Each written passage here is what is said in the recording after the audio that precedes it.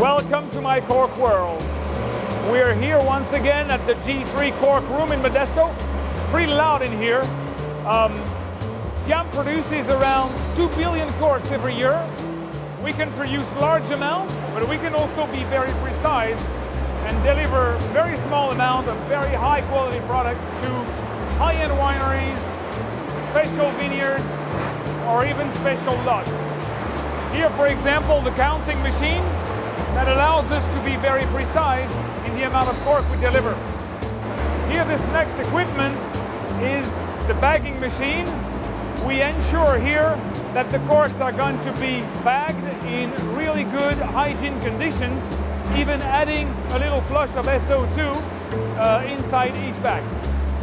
Diam need to deliver high quality services, precise orders, precise coding and printing quick deliveries to the customers all over North America.